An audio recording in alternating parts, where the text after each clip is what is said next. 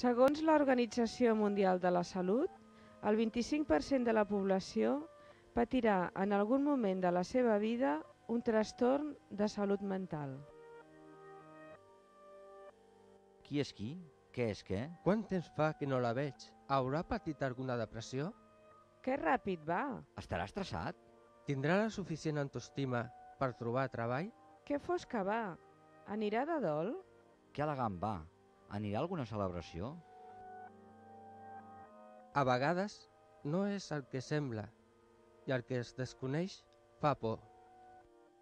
La salut mental, La salut mental és cosa de és tots. cosa de tots. Per què quan ens mireu només veieu en nosaltres la foscor, coses negatives? Quan tenim una llum que llueix en tota la seva claror, perquè pensem, Tenim idees, il·lusions i sentiments.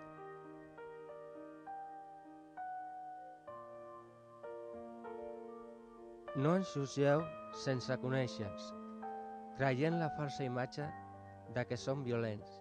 Perquè nosaltres, igual que vosaltres, rebutgem la violència i ens solidaritzem amb els drets humans, la pau i la llibertat.